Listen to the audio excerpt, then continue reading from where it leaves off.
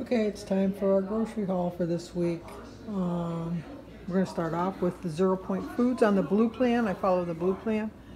The strawberries, the raspberries, the blackberries, a green and red pepper, my tomatoes, um, my diet cranberry juice, the grapefruits and banana, my apples, my eggs, cucumbers, the jello, uh, sugar free. I bought a lemon and uh, I bought a lime and a strawberry, and I got some Greek yogurt because I'm going to try to make the two ingredient bagels.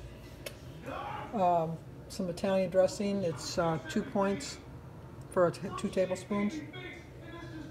Uh, three three points for my half a cup of cottage cheese. One point for a Laughing Cow wedge four points for uh, apple chicken sausage, one point for my Simply Light lemonade, four points for a quarter cup of the Mexican cheese, and two points for a quarter cup of the mozzarella cheese, one point for the Miracle Whip, and four points for a half of a bagel. It was buy one, get one free, so I'm going to try. I got a plain one and then everything.